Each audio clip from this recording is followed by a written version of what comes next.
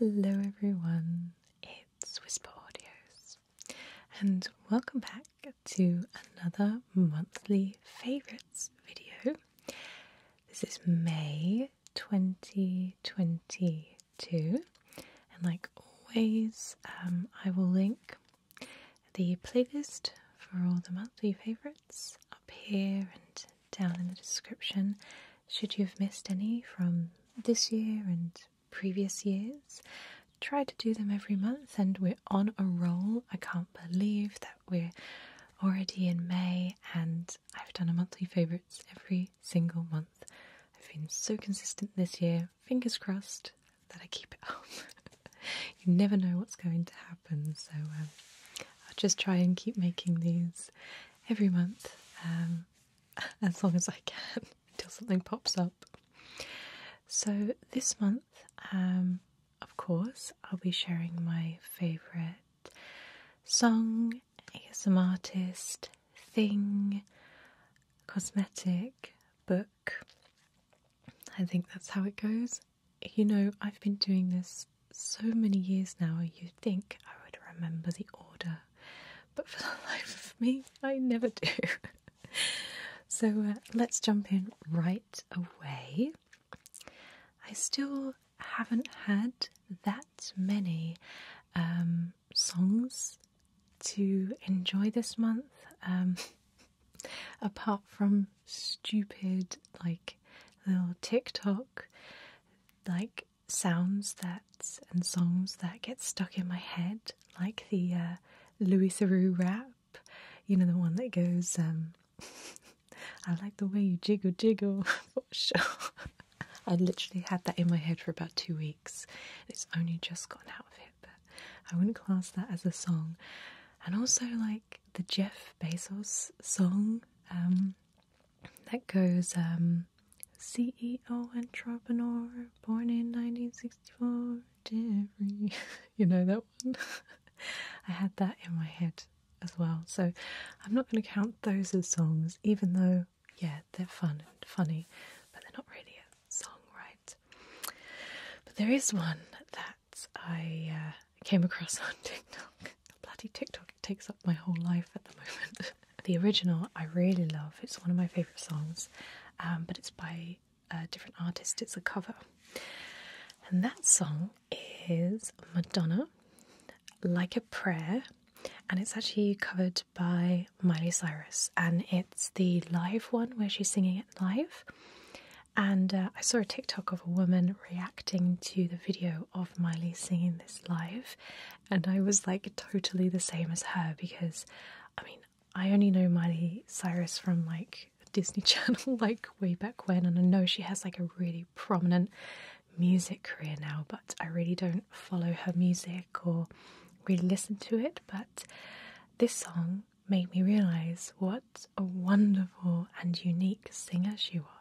Like, I had no idea. I'm very naive in that way.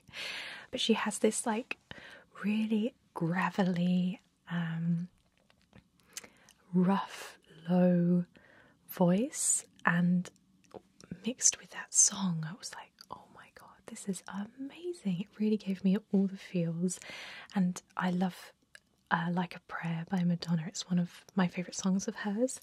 And when like Miley was singing it, I was like, this is sounding so much better. like, as much as I love the original, it gave it that really rawness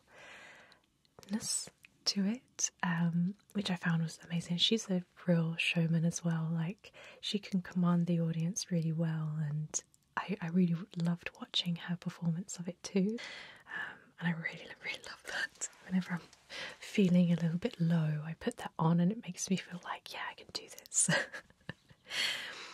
so now we move on to favourite TV slash film. And this month I'm playing catch up to all of the TV shows that have been coming out. Like, I'm currently watching the last season of Ozark. Haven't watched Moon Knight yet, but I want to watch that after Ozark. I don't like to watch like two TV shows at the same time. I find it's really confusing, and I really like to give my attention to just one show at a time so I can truly, truly take it in.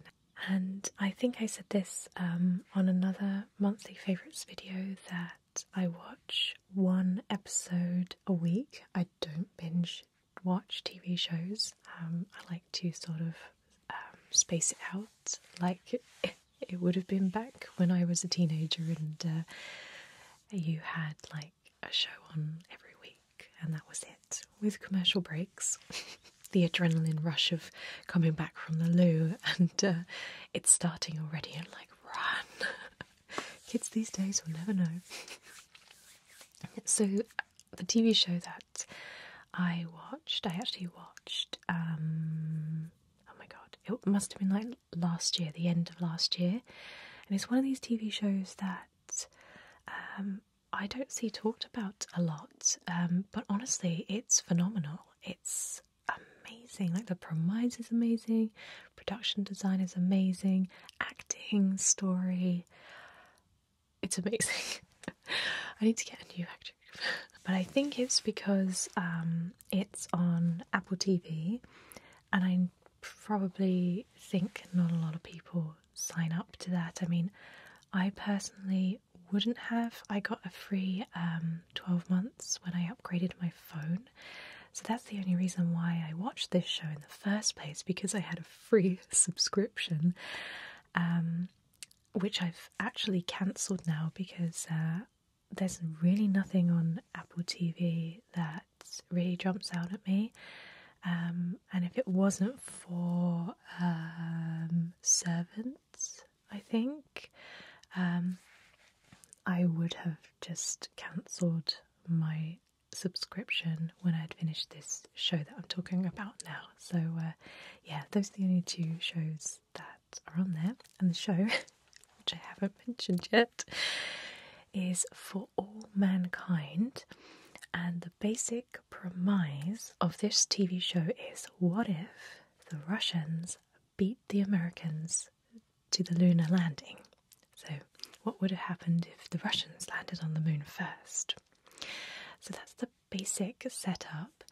And what I didn't realize about this show was how historically accurate it was, except for the fact that the Russians landed on the moon first, but all the, the uh, lunar uh, landing information, all of the Russian um, like pe- people that were involved in it, um, all the events that took place in the space of the years that they developed the lunar landing, um, crafts, and actually went to the moon and beyond, um, and all their plans for the future as well. It's all kind of based on real life facts, which I didn't know. um, so I thought it was a really interesting look into kind of like the psyche um, of how like the Americans would have acted if the Russians got there before them. And pretty much as you can imagine, it's like this really intense space race. Like once they went to the moon, um, the Americans finally eventually land on the moon in the TV show. They they don't stop there. They want to like colonize the moon, and it's a it's a battle between the Americans and the Russians to um, put a base on the moon, um, and where we've kind of left it. I try not to do any spoilers actually. well, let's just say that the moon is only the first stop on the space race. So it's really interesting because not only have you got like all these facts about space exploration and what it would entail, sort of going to the moon and, and having a base on the moon, and the conflicts that arise if somebody else was there. Like, that's all really interesting. But what I really loved about it was all the human drama because we follow the lives of like a handful of characters and you go on their journey over many, many years. So it takes place like over two decades, I think. Season one, season two. Um, I think there's two seasons, I'm not 100%. Um, so, anyway, you kind of really invest in these characters and their lives and their dramas and their mistakes that they make and really bad things that happen to them and what they have to go through. And, you know, there's some pretty shocking things that happen to these characters. And up until this point, you're just like, you know, they'll be fine. Like, these characters are invincible and they're not going to like get killed off. But that's what i love about this show like no one is safe. Um, anybody can like snuff it at any time. Um, and i think that's quite a brave um, brave like narrative choice to do when uh, you know no character is safe. And i think most of the characters are actually based off of real life people. Obviously, the names have been changed, but their actions and what they did and their position at NASA and stuff, um, it's all kind of based on uh, on real people, which I really liked. Um, so you, it's kind of like a historical drama, but quite loose on the history. Like it's not like a history slash science lesson. Um, it takes liberties with it, but I, I really liked it. Um, so that is For All Mankind, and you can watch that on Apple TV. So, next is my favourite ASM artist. Now, this particular ASMRtist I have been enjoying for months, and her her videos are so perfect because they are that really elegant blend of old school ASMR, um, but obviously with like um, a really lovely kind of like storyline. And there's there's so much thought and there's so much care taken to these, but it's not overly deliberate. It's very natural, um, very cozy and comforting. And this particular ASM artist's voice is amazing. Like, I don't know what microphone she uses, but it captures her voice exquisitely. Like, every syllable, every word is so crisp. It's so I don't know, it just sounds so nice and it has her videos have like this very nice balance of white noise to them as well. Like in the um I guess the old school kind of ASMR videos, which in my opinion capture ASMR the best when you've got a little bit of white noise, a little bit of background noise, and the the voice is so crisp on the microphone. Like I, I love And you don't see her face in any of these videos. It's all hands and um, explaining very, things very deliberately. Again, very old school ASMR. Um, so this is why I really, really love her videos. Um, and what I also love about them is how consistent they are. So whenever she posts, you always know within a little what the theme's going to be. The you know the sound is going to be amazing. You know the theme is going to be amazing. You know it's going to be great. So the ASMR artist is called Amuse ASMR, and I'm going to show you one of her role plays, and it's called ASMR Spa role play Rose Treatment. Um, and I, I listen to this one in the background when I'm planning because I feel like it has that very lovely pace to it. It's not hurried or rushed in any way, it's just lovely. So I'm going to play you a little bit from it. Complimentary Mother's Day special that we're having. No, no, you don't have to be a mom. Anyone is welcome. But we will be offering some special discounts for any moms who do come in and decide to come back at a later time and book another treatment with us. I'm just going to skip to the actual treatment bit, which is really nice.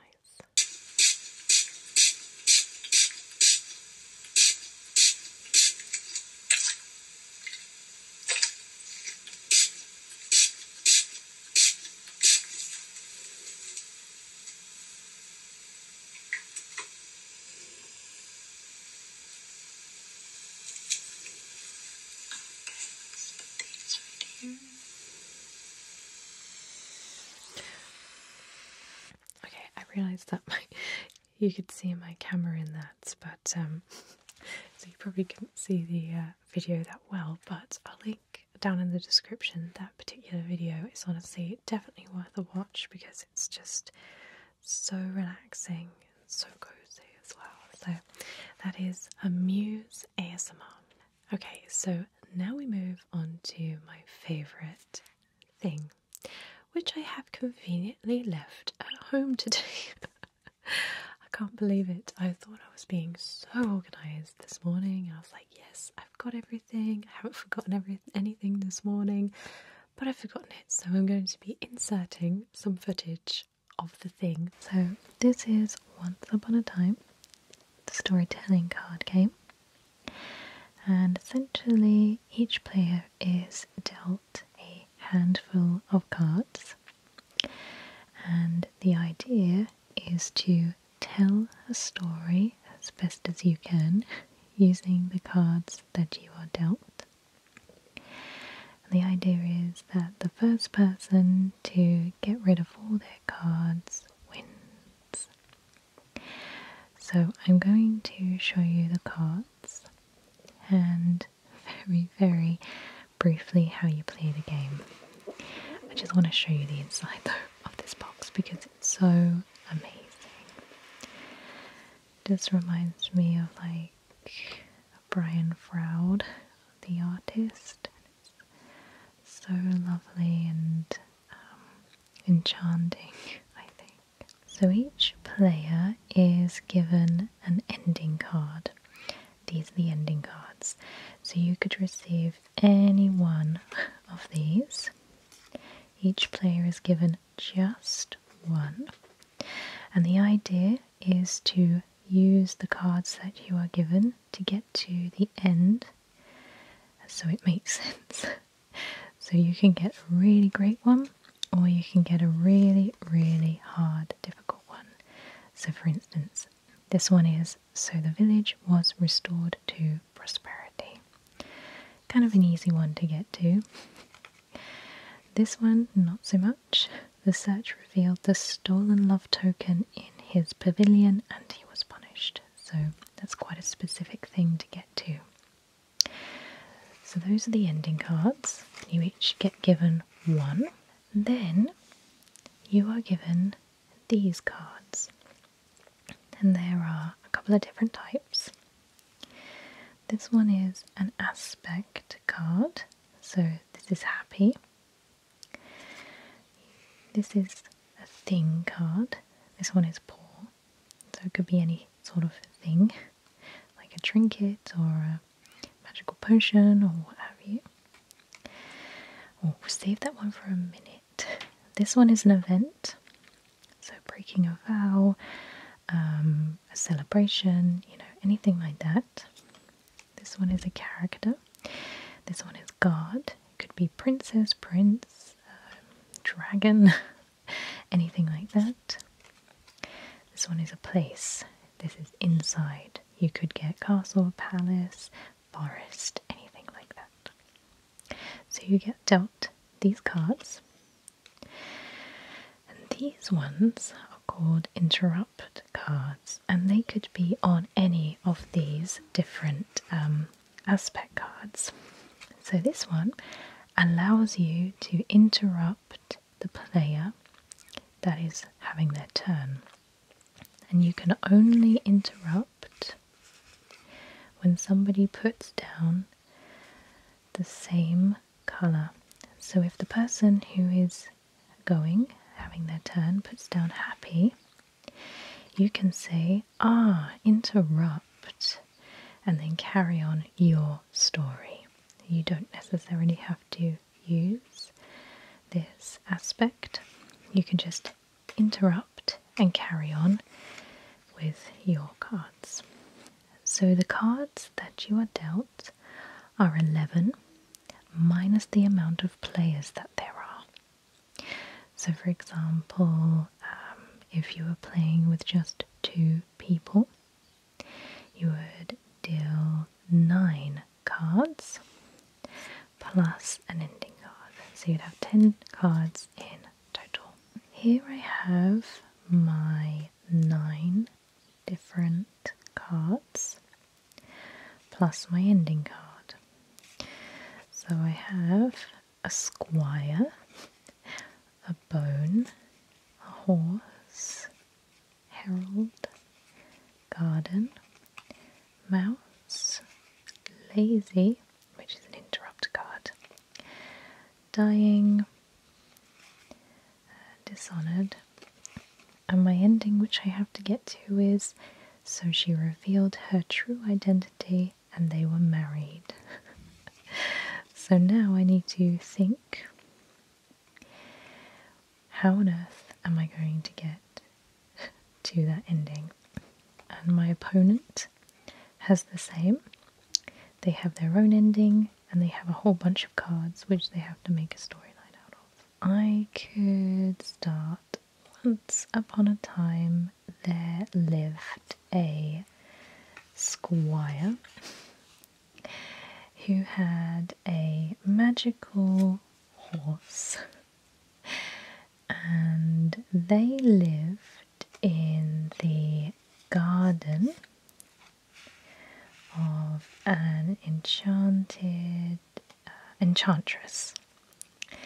Now, you'll notice that I am putting in words that aren't on the cards, so enchantress, for example, and you can do that. You can actually um, beef out your storyline as much as you like, but just be aware that somebody in your um, somebody who your opponent is might have enchantress and therefore they can like interrupt you because they have that card even if they don't have interrupt. That's the perk of the game.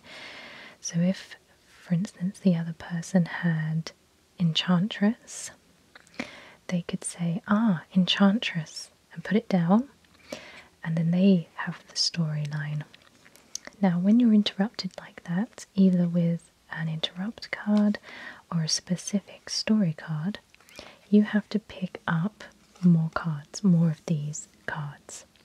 I think it's two. If you're interrupted, you pick up two cards. If you cannot go or cannot make sense of your story, you have to pick up one card. And the idea is to get rid of as many cards as possible before being interrupted.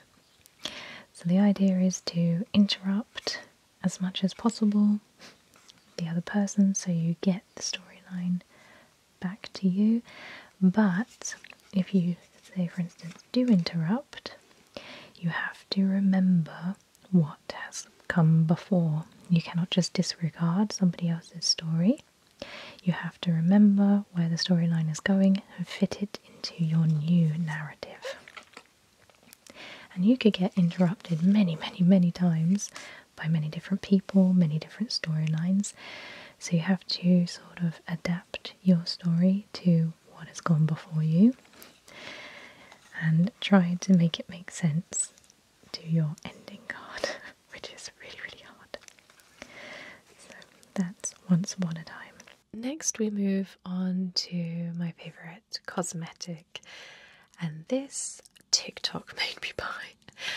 Now, it's a cosmetic which um, is for your hair, so we're talking about um, hair cleansing and hair styling products. Now, I saw, I've seen everywhere on TikTok about the curly girl method. I don't know that if you've heard of that, but it's essentially bringing your hair back to its original, like, um, wave pattern or curl pattern. Um, and I realized from watching TikTok that I actually have wavy hair, like naturally wavy hair.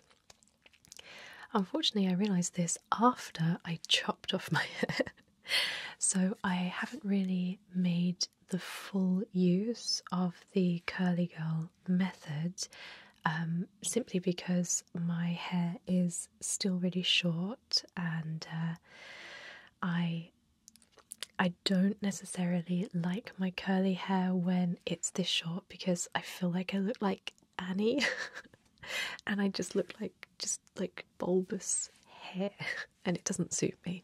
So I'm kind of waiting for my hair to grow out a little bit to really um, make use of the curly girl method. But I bought some products that will help my styling whilst I have short hair. So I'm not doing the curly girl routine like religiously. I'm kind of taking aspects of it and incorporating it into my hair routine now. And I found that when I air dry my hair like this, it actually forms some really nice texture, not big curls or waves as like would have formed if I did it properly, but it gives my hair that texture that is really nice. And all I have to do is kind of like um, get some straighteners on it, which are not loud on the curly girl method, but I have to break the rules because my hair looks definitely better when I like like curl some bits. So the products that I have been using to kind of achieve this texture um, are by a company called Only Curls, and I realized that my hair was protein overloaded. So you can, well, it's getting a little bit better now, but it has that sort of dull, matte, like lackluster look to it in natural daylight. And I realized that it had too much protein in it and it needed more moisture. So I found that I needed to add a better conditioner into my hair routine. I needed to stop using shampoo. As much as that terrified me, I was thinking, like, oh my god, if I skip shampoo, my hair's going to get really greasy. If I just use like a, a co wash, a conditioner wash, my hair's going to just look like an oil slick and, and all of these things. But I started using this um, co wash by Only Curls. Actually matches my nails. How lovely is that? so I started using this, and I've been using this for about two weeks now. And immediately I saw my hair improve. So I skipped shampoo and I used the co wash to cleanse my hair. Now, this is essentially a conditioner but with a little bit more cleansing properties in it, so you have to really scrub your scalp. But after I washed my hair, my hair felt so moisturized and still really, really voluminous. I was like, what the hell? Like how did how does that work? And my ends felt really moisturized as well. Then I used uh, a conditioner by Faith in Nature. It's their jojoba oil conditioner. And I used the bowl method whereby you saturate your hair in conditioner and then you dunk your head into the water and basically dunk and scrunch, dunk and scrunch, dunk and scrunch until the conditioner is kind of all washed out. This helps to retain the moisture in your hair and to form like wave clumps, which are like really big, um, like clumps of hair that stick together, and that's your basis for your waves. Then, once my hair is really soaking wet, I put this hydrating curl cream all over my head, like I saturate my hair in it, and that helps to keep the waves defined in a soft way rather than like a crispy kind of way, and also to like flatten down the hair um, shaft so it doesn't go frizzy. I also bought their microfiber towel so I could wrap my hair in um, something that won't make my hair go frizzy because my towels at home are really kind of starchy and hard and that causes frizz. So the microfiber towel by Only Curls um, not only dries your hair faster but it stops that frizz as well. So that's my like routine at the moment. Co-washing, um, basically twice a week. Um, and then what I will do after two co washes. So after I've washed my hair twice, I will do a clarifying wash, which is basically a wash um, in apple cider vinegar and water. Sounds gross, but I put some like essential oils in there to make it smell not like a chip shop. so that uh, balances out the pH levels in your hair. It strips out all of like the build up from these products because they will naturally build up. So I do a uh, apple cider vinegar rinse, and then I'll also do an exfoliating scalp scrub as well.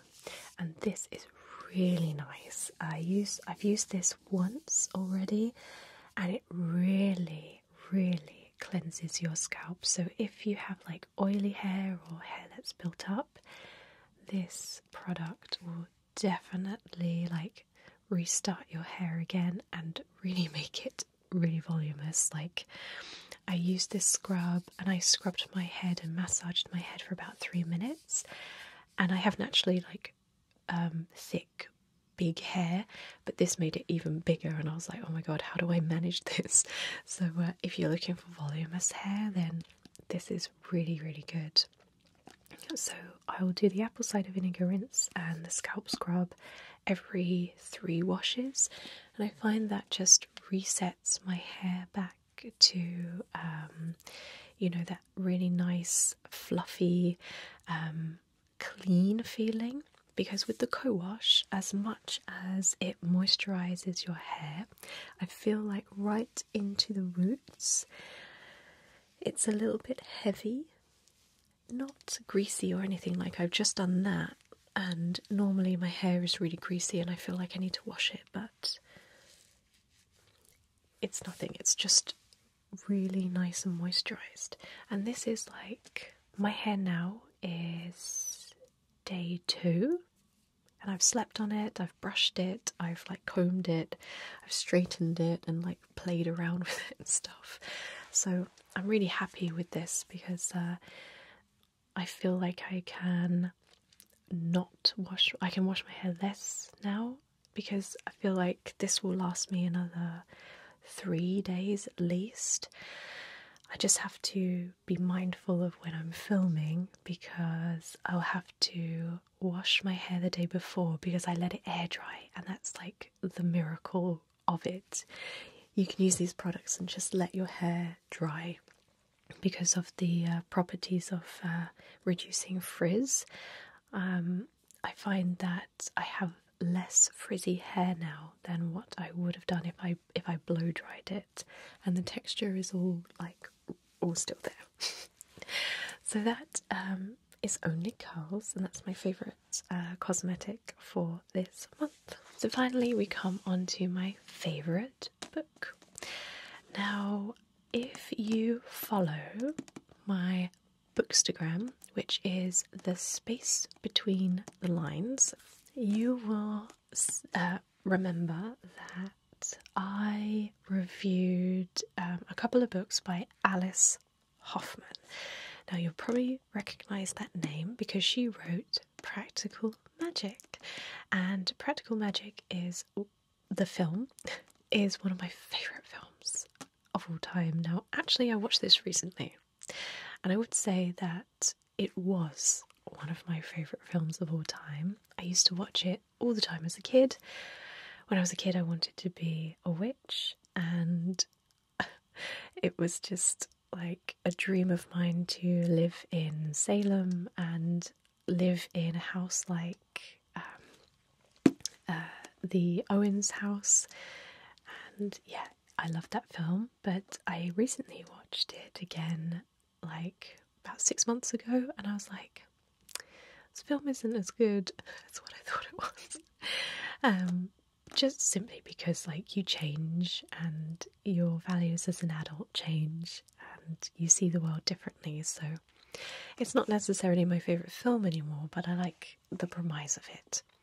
So when I read the book, I was expecting it to kind of live up to the film and be really great, um, full of magic and mystery and love and heartbreak and stuff. And it was really disappointing. It, there was hardly any magic in it. It was all very depressing and all very like melodramatic. And I was like, I don't, I don't really like this book. But then I thought, you know, uh, Alice Hoffman has other books that follow along in the series. I'll give those a go. And they were okay. Like, they were alright. They were just, again, not that much magic in them. Like, it's all hinted at and it's all very real life. And I see where she's going with it. But, like, if you're going to write a book about witches, write a book about witches. So when her newest book came out, which is actually a little bit old now, but um, I was like, I need to follow through with her work. I need to give her the benefit of the doubt and see if this book is any different. And thankfully, it was. It gave me everything that I wanted from the storyline and more. So I was really, really pleased. And that is Magic Lessons by Alice Hoffman. Now, if you remember in Practical Magic, there is a curse on the Owens family, and basically, anyone who falls in love with an Owens woman is cursed. So, basically, cursed to die. And this book is the origin of that curse, and we follow the storyline of Maria Owens, the first witch of the Owens family. And we see how um, it all came to be. Now, this book is set in the 15th century, so like 1674, and then it goes all the way to like 1696. So we're in that sort of time where, um, like, the Americas were just being like colonized.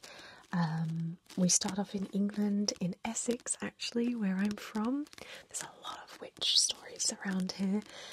So we start off in Essex, in England, and then we sail across the ocean to America to like Massachusetts. We also spend a little time in Curacao, tropical island, and there is real magic in this, like curses, remedies, um, you know, strange things happening, familiars, wolves, animals that like are your friends, and oh, it's it's really really good. Um, again, it really plays on the themes of the previous books, but it um, has more like magic as at its focus and the origins of where the magic comes from and how you can sort of nurture it and, and stuff like that. So I really, really enjoyed it.